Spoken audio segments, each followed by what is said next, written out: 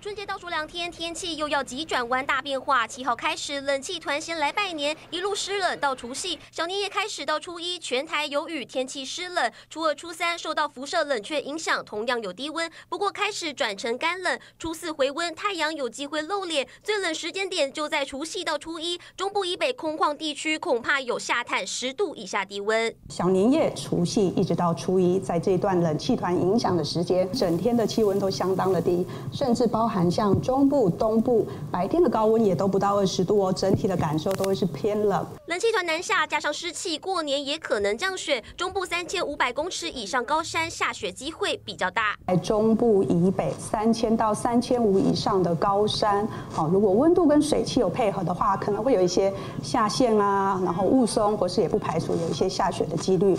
交通方面，初一到初三，国道五号实定平零，每天五点到中午十二点封闭南向路口；初二到初五，国道五号苏澳罗东宜兰头城，每天下午一点到下午六点北向路口则有高承载管制。预估初三、初四车潮最多，国五北上返乡恐怕要塞十二小时。